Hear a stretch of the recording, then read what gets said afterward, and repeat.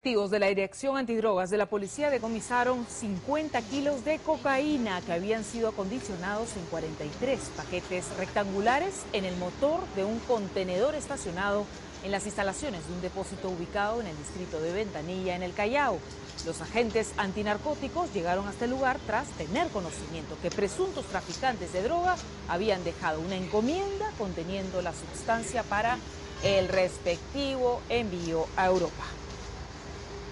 El régimen de Nicolás Maduro ha convocado a una manifestación para rechazar la política de Washington que ha ordenado bloquear las propiedades del gobierno de